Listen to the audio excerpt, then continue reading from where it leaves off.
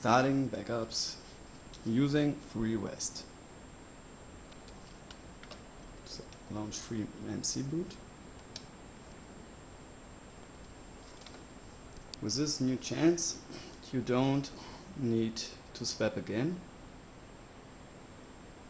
Start the U-launch from the memory card without a trigger disk. So, put in the backup.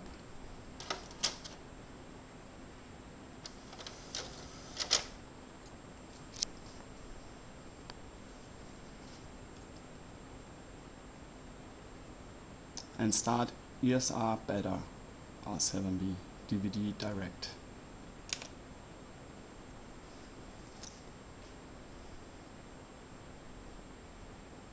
I like this new chains. It's like a mod chip and you don't lose the warranty because you don't have to open the PS2.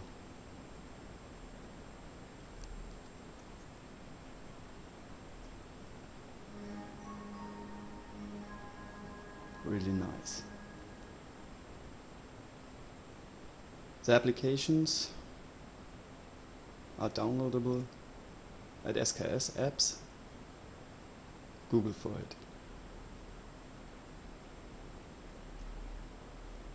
And the first way you have to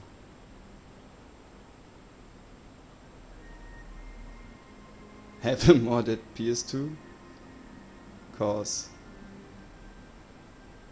you have to run homebrew to make this memory card.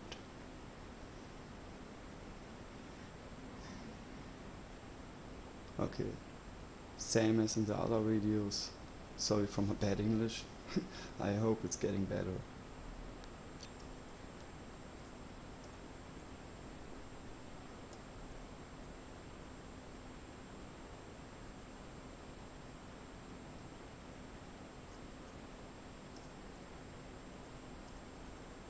Near 100% of games work.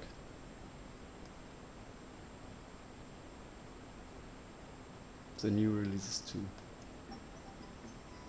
like Kung Fu Panda.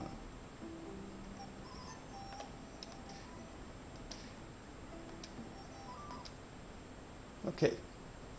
Have fun playing games and starting homebrew like Simple Media System and others.